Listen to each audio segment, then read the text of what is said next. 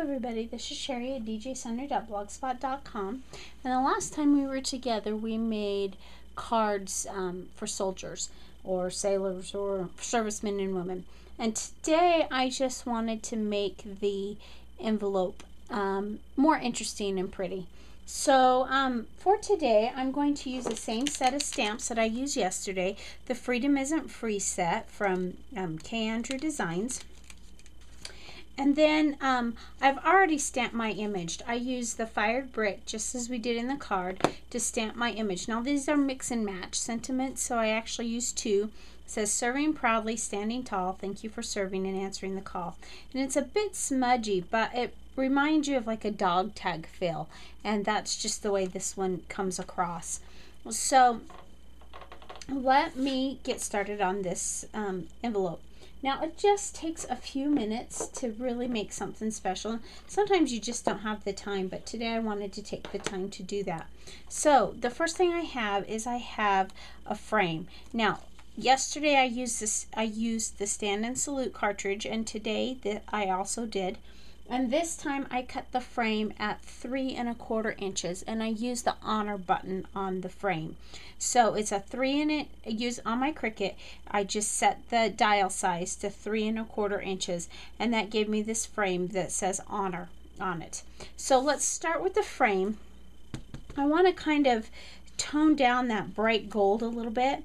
And to do that, I am going to use the faded brick um, distressing. Now on that's pretty much all I used yesterday. No, I also used the, um, sorry, I used the faded jeans um, also. So I have the fired brick and the faded jeans. And I'm just knocking off some of that bright, bright gold color but and adding just a little bit of dimension to my frame. And now we're going to move to the envelope. Again, we're going to do use the same colors and we're just going to distress the edges. Now I'm coming in quite a ways. Um, I wanted to use the cream colored envelopes because that's the color I used um, on the card base that's going in here. Um, but I wanted just to make it um, just interesting. So I'm just distressing around the edges, blending those two colors together, the faded jeans and the fired brick. And there we have it. Now that would probably even that looks better than just a plain envelope. And of course you couldn't do this completely like this if you were mailing it because you would have to do, um, you would have to um, have a place to put your address.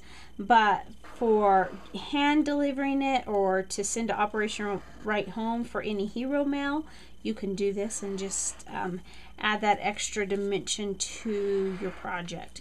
Now I've got my um, zig pin here and I am just gluing around the edges and you notice I just kind of swirled around that's the beauty of having this mat this ranger mat because um, I can just wipe it clean and I will in just a minute. I'll show you how I do that. So now we're just going to center that over our phrase. Before I put it down I'm going to make sure that it's how I would like it. Okay. And just make sure it's all adhered well because I don't want it coming apart either in a box or in my purse or wherever it is that I'm going to be carrying it around.